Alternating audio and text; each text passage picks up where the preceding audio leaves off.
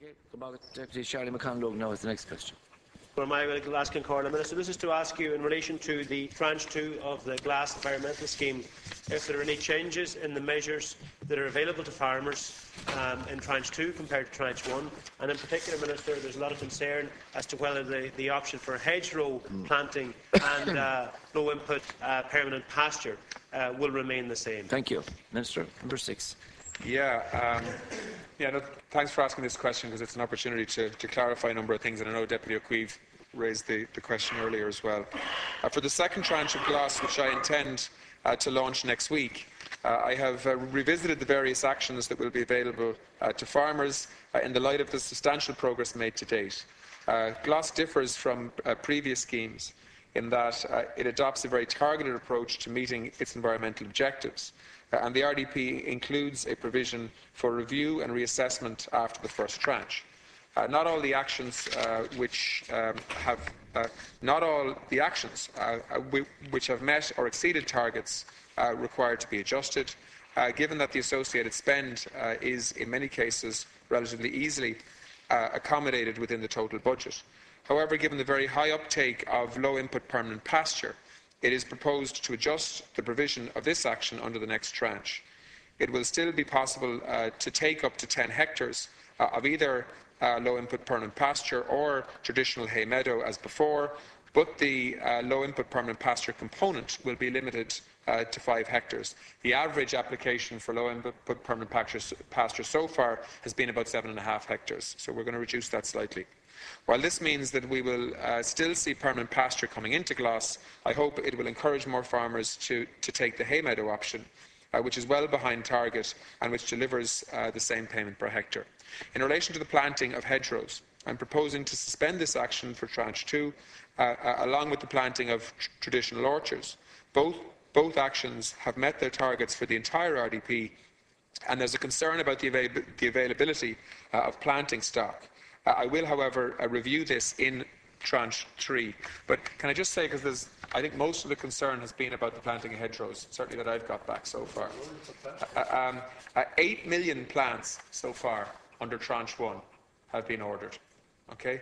Uh, and our contacts with both uh, the Forestry Service and relevant nurseries indicate that they'll have serious difficulty supplying even the quantity of planting stock in the time frame, time frame required for tranche one applicants. Thank you. So, so, so the reason why we're changing the hedgerow uh, option is, is just a practical one. First of all, we've met the target for that, um, for that item already, for the whole uh, uh, of GLAS in tranche one. And secondly, our industry has real problems even providing what's currently being committed to as opposed to opening a whole new tranche on it. So, in other words, to solve this problem, we would have to import huge volumes of trees, which is a disease risk and a concern. Um, so, so, we're taking a practical approach here. Um, from an environmental point of view, we've, we've met and surpassed our targets already in this, and from a response in terms of our nurseries as regards their capacity, they're already stretched to deliver on tranche one. Thank you. And that's why we're, uh, um, we're, we're looking at farmers taking up other options uh, instead Back of planting to the new Deputy McConalogue. Um, Minister, I, I, find your response in relation to the availability of, uh, of uh, hedgerow plants ringing fairly hollow, um, because I do believe, um, similar to the issue with the low uh, input permanent pasture, your main um, approach here is based on the fact that the uptake is high um, and, and, I mean, there's no reason, for example, uh, to change the low input permanent pasture. And unfortunately, the impact of this is going to be that particularly for many smaller farmers, and I can say particularly in my own county of Donegal, Minister, that many farmers who under tranche one would have been able to achieve the €5,000 uh, full maximum payment under this environmental scheme will now be only able to achieve €3,000 and particularly because of the fact that you are removing the low uh, input permanent pasture measure. Now, the GLAS scheme, Minister, in many ways has been a disappointment to some farmers in that it wasn't what was expected. But what you are now doing by making this change without any prior notification means that many farmers who had been waiting for tranche two for various reasons, some because of the, the, some because of the confusion that you yourself caused over the commonage issue, which affected 40% of farmers in my own county Donegal, for example. Initially, you wanted 80% to sign up to a common grazing plant. Then a plan then it was 50%. Now it's now it's a guideline. Deputy, so there was please. confusion about that. Secondly, Minister.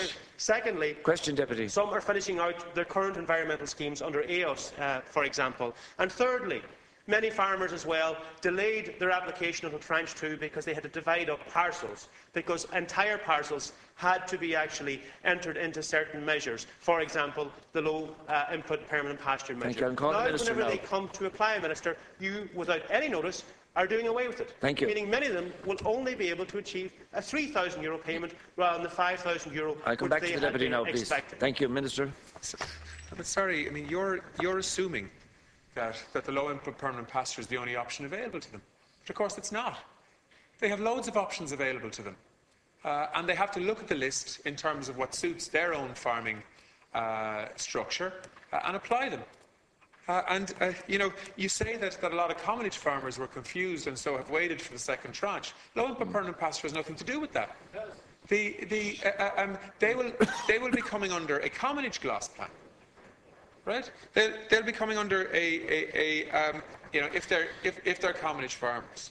So, so can I say that we have an obligation to ensure, because we're spending EU money here, and a lot of it, okay, uh, as well as Irish Exchequer money, that actually we set targets at the start of a scheme in terms of what we want done for this money.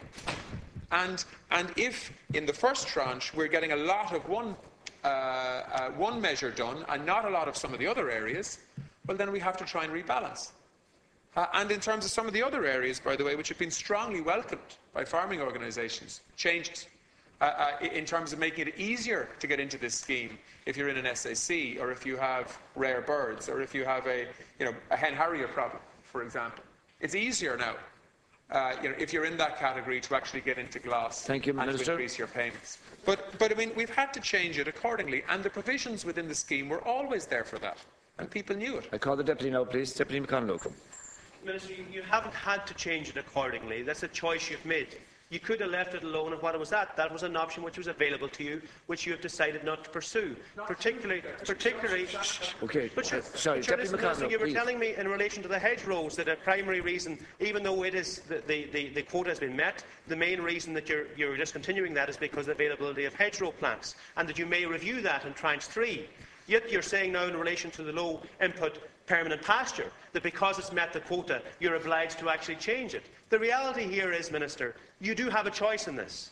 And the reality also is that for many farmers, they do not have other options which may be available to them given the circumstances of their own farm. Many were depending on the low input permanent pasture option. Many were also depending on the hedgerow option. Because you now, without notice, have removed that, many of those farmers will be, many of those farmers, many of those farmers, because of their particular circumstances on their own farms, will only be able to reach a maximum payment of just under Thank 3,000 you, euro Deputy. rather than the 5,000 euro. Minister, this is not a measure you have to take. It's a measure that's going to have a radical impact on many farm incomes, particularly smaller farm incomes, Thank. Minister. 2,000 euro is not easily earned in terms of income. Thank and you. in one fell swoop here, you are undermining what was already a difficult scheme for many farmers to actually have to qualify for. You're undermining significantly the Thank you. capacity of farmers to actually gain income and revenue from this, which actually might help keep many of them actually uh, farming on a full-time basis Thank you, and Deputy. make their farm I viable. Minister- I know sorry, Deputy. you plan to announce this Deputy. next week. I would ask, in the meantime, Minister, that you revisit it and take into consideration the severe impact that this is going to have on many farms in County Donegal. I'm, I'm calling on the Minister now to parts of the conclude. We're way over time. Minister, to conclude. But this is about every county, Deputy. It's about every county. I know you're only interested in one county, but it's, it's, about, it's about a scheme that actually makes sense across farming in Ireland. Right? First of all, there is notice. It's not open yet for tranche two. It'll be opening next week. The reason we're talking about it is because there is notice. So would you stop this nonsense about saying there's no notice? Right? The, the, uh, um, uh, and thirdly, you know, I am the one who has to stand over uh, looking at where we're spending money, where we're getting value for money, how we're spending that money, and justifying that through audit systems to the Commission. That's the way this works. This is a rural environmental scheme that is worth over a billion euros to farmers. And most of that money comes from the European Exchequer. And I am the one that has to make sure that it is spent appropriately. Otherwise, we'll be paying disallowances. Okay, this is not. This is not. This is about. This is about. To conclude on this. This is about supporting farm incomes, but it's also about getting environmental outcomes. Thank you, That's what it's Minister. about. And so what we're doing here, I do not accept that there aren't alternatives for farmers. I think you're taking the lazy option, quite frankly, in terms of what you're saying. Um, I, I, what we are, what we're trying, what, what, what we're trying to do here is offer every farmer options in terms of GLAS, but we're also trying to ensure that we get appropriate value, value for money in terms of environmental outcomes. Thank you. And so the tranches will change slightly to make sure that we continue to get the right outcomes that we need to get. And that's all that's happening here. There's still an option for, for low-income permanent pasture. The average application for that is only just over seven hectares. We're now making it five. Thank There's you. a slight adjustment in that, uh, and farmers should be able to adjust to that. Thank you. I've gone to the next question.